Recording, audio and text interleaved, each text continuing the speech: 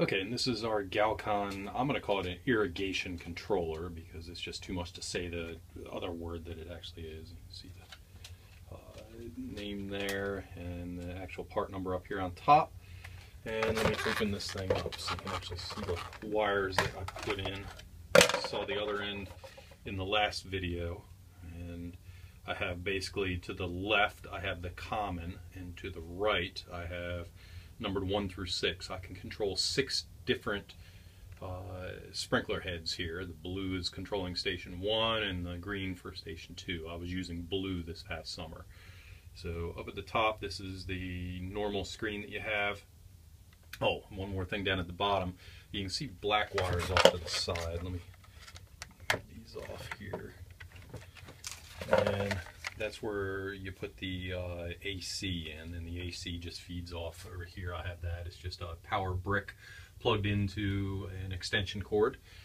So that's that's the wiring piece of it, and it, it comes with directions explaining exactly what all this stuff is.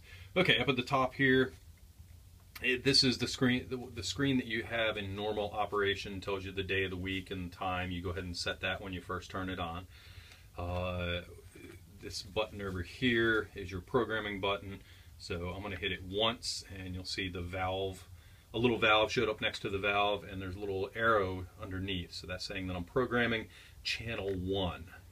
If I hit this again, uh, it is the gives me the duration. So this is how long the water is actually on, the duration that I'm using the sprinkler. And in this case, I'm doing it for 10 seconds.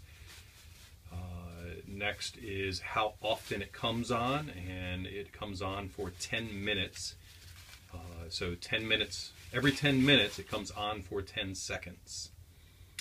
Uh, next is the start time, and this is, I just leave this be. The start time is saying that, hey, the next time that you actually hit a number of five digits, uh, we're 347 right now, so at 350, that's when this is going to start, at day zero, meaning today.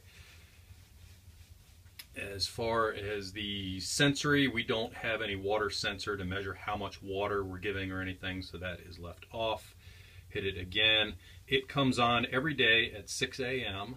and it shuts off every day at uh, 9 p.m. So that is the open and the close there on the side. As far as uh, manual operation and uh, rain off, uh, so right now we are set to off. So if you're going to change these, you use the plus and the minus.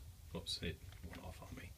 Let me change something here. So right now we're on camera, or uh, sprinkler one. I'll hit the plus. I'm going to try to hit the plus. Okay. So I hit the right arrow first, and now I do the plus, and it goes across. And this allows me to program each of the individual sprinklers. And once I get where I'm at, so right now I'm on sprinkler three, hit the return, and that is saying duration. That would be on for two minutes. If I want to change it,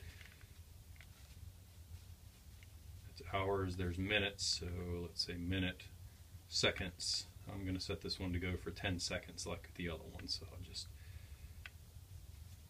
go up to 10 seconds and then hit enter. So, uh, in basically that's how you program it, and if you have any questions or anything, shoot me an email. I can give you a hand on how to set yours up. Uh, this is a very, very neat system. I ran it all all year, and it, it ran great for me.